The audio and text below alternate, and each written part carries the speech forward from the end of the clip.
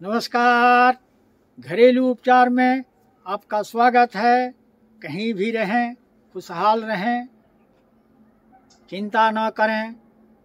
चिंता से कोई काम हल नहीं होता है।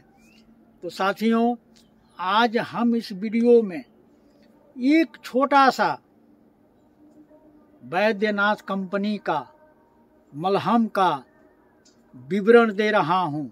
यह मलहम बिल्कुल कम खर्च में, कम लागत में उपलब्ध हो जाती है।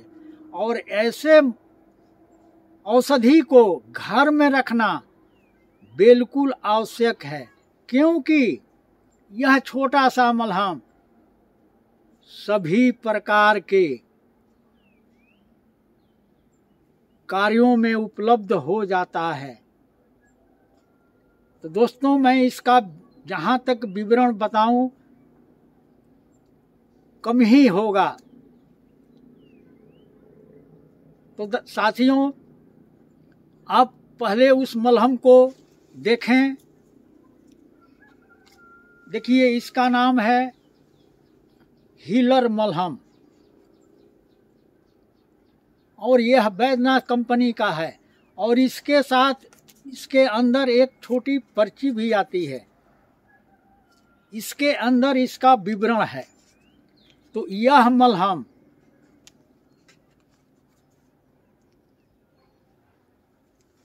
किसी प्रकार का चोट लग गया हो, मोच हो गया हो, घाव हो गया हो, गांठिए का दर्द हो, और खेल कूद में लाठी डंडे का चोट लग गया हो मधुमक्खियाँ डंक मार दिया हो, हाडी हो, बिच्छू हो। यह इतना कलाकार है कि जहाँ तक मैं बताऊँ, कम ही रहेगा। तो दोस्तों, इसके अंदर एक ऐसी आती है पर्ची, इसमें सभी विवरण जो है लिखा हुआ है। तो चलिए हम पहले नज़दीक से आपको मलहम दिखा दूँ, फिर इसका कुछ विवरण मैं बताऊँ।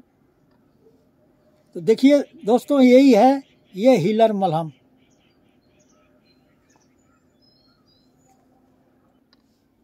तो साथियों, यह जो है हीलर मलहम का गुण। बहुत है।